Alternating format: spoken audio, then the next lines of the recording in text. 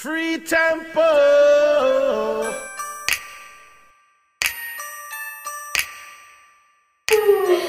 Pero que me gusta comer. Y eso que acabo de ir al médico y me han dicho que hay algunos que no puedo comer. Pero ¿sabes qué? Que ni me acuerdo de cuáles. ¿Por qué será? ¿Tú lo sabes? ¿Pero por qué no los podías comer?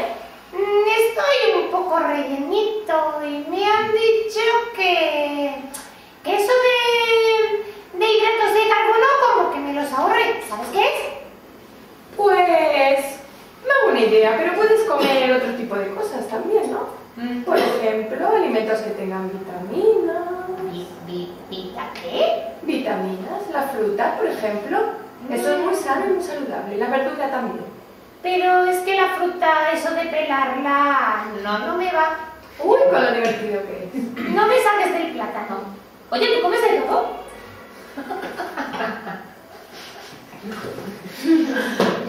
Decía porque no se pelaba.